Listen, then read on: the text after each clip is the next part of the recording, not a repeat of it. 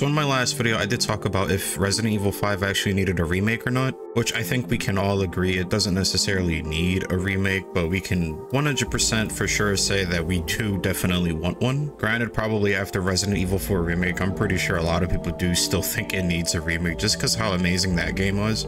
So I can only imagine what it can do for Resident Evil 5. So today is going to be a little bit different. Now I do want to talk about what kind of expansions should be made for the game to actually succeed, or not to actually succeed, but in order for the game to feel better than the original. If you enjoy the content, make sure to like the video, and if you're new to the channel, welcome in and be sure to subscribe. Now let's begin the video.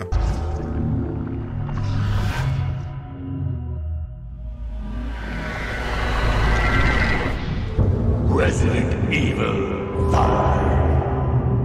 So Resident Evil 5 naturally has way more action than Resident Evil 4 on its own. So in my personal opinion, I think it's okay to take Resident Evil 5 and basically just dial it to 1000, just kind of like just kind of like how Resident Evil 4 did with its remake. So I just want to talk about some of the things that should be not improved on, but more expanded on what we already have for the original Resident Evil 5, basically.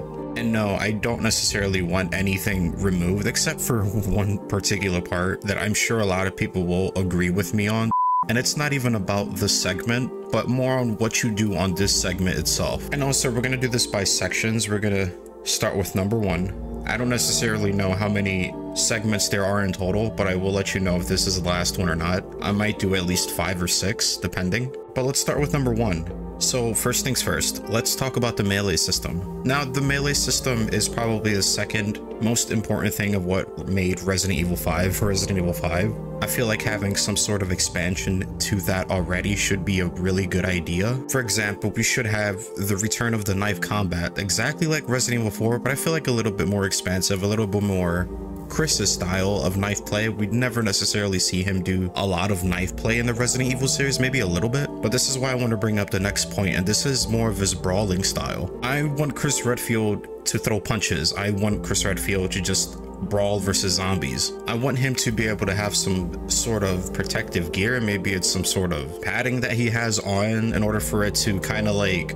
act as though it was like the survival knife for Leon S. Kennedy in Resident Evil 4 Remake. Because as we all know, because Redfield is jacked up, so I feel like emphasizing on his combat with his fist too would be absolutely amazing, along with the knife in combat. Maybe combine some sort of knife and punch move, who knows. And also, different melee options. I feel like we can have some sort of option. I want to get into this point a little bit later. You guys will know exactly what I'm talking about, but I will bring this point up again. Maybe we can get some sort of custom move set where we can be able to pick up these or maybe learn some combos, have our kind of like our own sequences in our combos. Again, this game is naturally supposed to be a lot more actiony than Resident Evil 4, so it only makes sense for the remake to do the same thing. So I want there to be more melee options for Chris Redfield. You know, he's big, he's jacked, we want him to be able to use that. But the next point I want to bring is the cooperative with Sheva, or just the co-op in general. So just like the option for Chris Redfield, I want there to be more moves, more customizable options of what you can do with Sheva. For example, like choosable combo sets that you can probably equip to Sheva and Chris. You know, maybe you can have some sort of gunplay combo that you guys can do. For example, like more teamwork, such as Sheva holding a zombie down while you shoot. You know, I really wouldn't mind more team play options because the co-op is probably the one thing you think about when anyone talks about Resident Evil 5. It will always be the cooperative mode.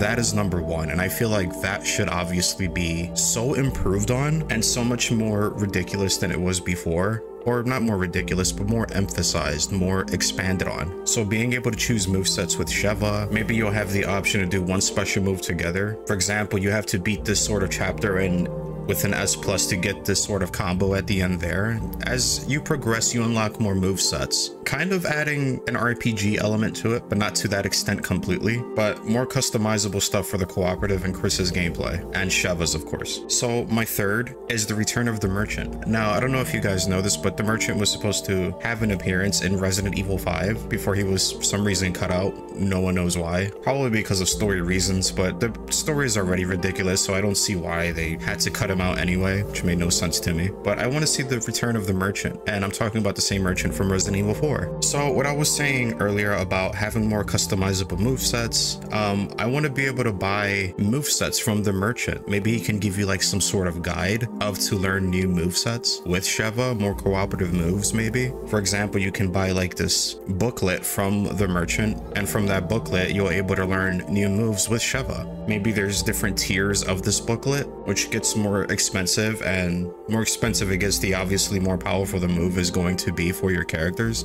So something more customizable like that. And also weapon customization. Listen, Resident Evil 5, again, I'm gonna probably keep bringing up this point, is way more actiony than Resident Evil 4 way more actiony. And I feel, to me, the gunplay is very important. So I feel like some of the weapons, or at least all the weapons, should get some sort of modifier option. For example, like adding silencers, adding muzzles for more damage, grips for accuracy, faster reloads. Now, I know these are already stats to be improved on with the merchant already in Resident Evil 4, but I feel like having attachments would be a lot more personalized for your weapon, a lot more than just having some stat increase, especially when you have Chris and Sheva who are literally expertise when it comes to weapons. So I feel like having a more customizable option with the merchant when it comes to your moveset, combos, your finishing combos, and your weapons. So my fourth point, a more expansive mercenaries mode. Now, what also made this game absolutely amazing was not only the main story mode, but the mercenaries. This game literally brought the mercenaries to the map. Granted, the mercenaries been there since Resident Evil 3 and 4, but Resident Evil 5 took the mercenaries mode and shot it to the moon, basically. I feel like the mercenaries mode should be expanded on, and I feel like it should be the best one yet. And what I mean by this is no more one or two players. I don't even want three players. Make it four players. Make it a four player co-op mercenaries mode, or at least up to four players. Obviously, the more players, the more hordes. And a perfect example of this would be, um, I don't know if you guys know this, but I am a huge classic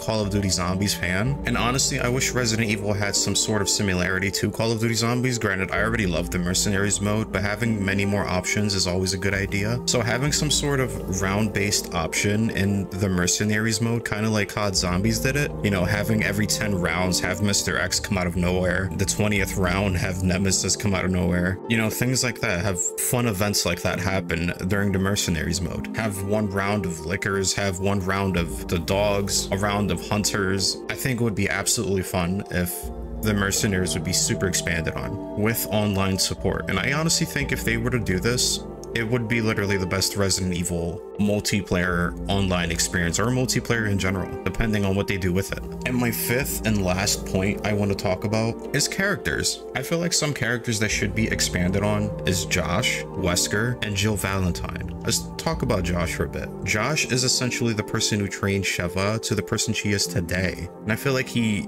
didn't really get enough recognition for it in the main game and I wish we had more time with him. So I want Josh to have some sort of segment of his own, kind of like change his lore, kind of like what they did with Luis and expanded on him. I want them to do the same thing with Josh Stone. And my point with Jill Valentine applies pretty much the same thing. I, I wish we had more time with her. Like, this is Jill Valentine. Do I really need to explain why we need more time with Jill?